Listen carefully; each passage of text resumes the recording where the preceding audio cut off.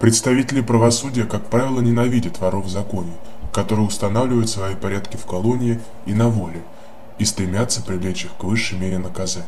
Но совершенно иначе обстояли дела с вором в законе Александром Кушнером, которому чудом удалось избежать смертной казни и длительного срока пребывания в колонии. Александр Викторович Кушнеров появился на свет в Гомеле 29 июля 1966 года. Заниматься преступностью он начал с малолетства. Сначала это были мелкие разбои и хулиганство. Затем он стал одним из участников группировки, основанной Сергеем Морозовым. Он вместе с другими преступниками активно занимался рэкетом, воздействуя на местные торговые точки. Как только Кушнеров получил свой первый капитал незаконным способом, он тут же вложил его в дело, открыв собственный легальный бизнес. Но криминальная деятельность на этом не была закончена. Он вместе с другими участниками группировки стал вымогать деньги у предпринимателей. За несколько лет своего существования белорусская банда смогла достичь больших успехов и уже практически приблизилась к верхушке криминального айсберга. Но вскоре все ее участники, а их было 50 человек, были арестованы. Кушнеров был признан виновным в совершении двух убийств и других преступлений различной степени тяжести.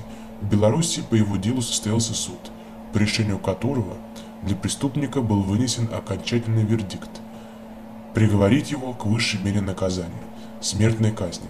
Александр Кушнер уже успел смириться с этой мерой, как внезапно Верховный суд в январе 1996 года нашел смягчающие обстоятельства и заменил расстрел на 15 лет пребывания в исправительной колонии. В тюрьме он должен был пробыть до декабря 2009 года, но освободился немного раньше, в декабре 2008 по амнистии. В местах заключения преступник познакомился с воровским миром и воровскими понятиями, которые пришлись ему по душе. Среди сокамерников он получил прозвище Кушнер Гомельский. Теперь он задался целью стать вором в законе и постепенно стал подниматься по лестнице криминальной иерархии. Сначала он стал смотрящим по камере, затем поддерживал порядок во всей тюрьме. Вскоре ему удалось наладить отношения с такими личностями, как Христофор и Жураковский. Влиятельные воры в законе сообщили о перспективном парне деду Хасану. После окончания первой судимости в мае 2011 года он был коронован.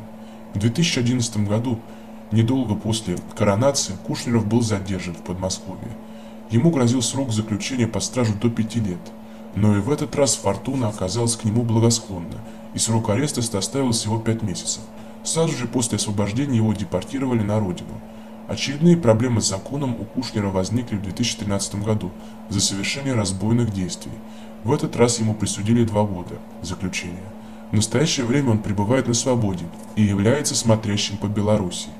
Последнее задержание его произошло в 2017 году, когда вор в законе попытался въехать в Россию, которую для него дорога была закрыта. Вскоре он был вновь депортирован на родину.